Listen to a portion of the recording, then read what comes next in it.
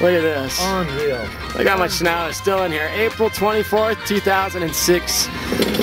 This chair one is just buried at the top of it. Just, uh, they've actually had to bring the cap through here. They groom this thing often now. Corduroy on Gravy Chute.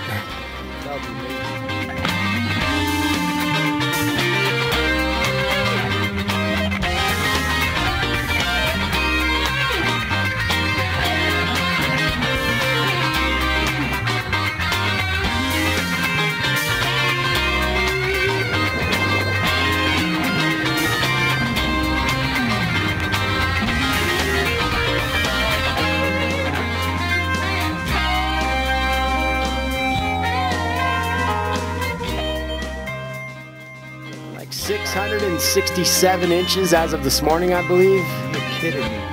Six sixty-seven. Closing in on 700 inches at the main lodge. What was the what was the record? Six thirteen or something? Uh, I think it was 619.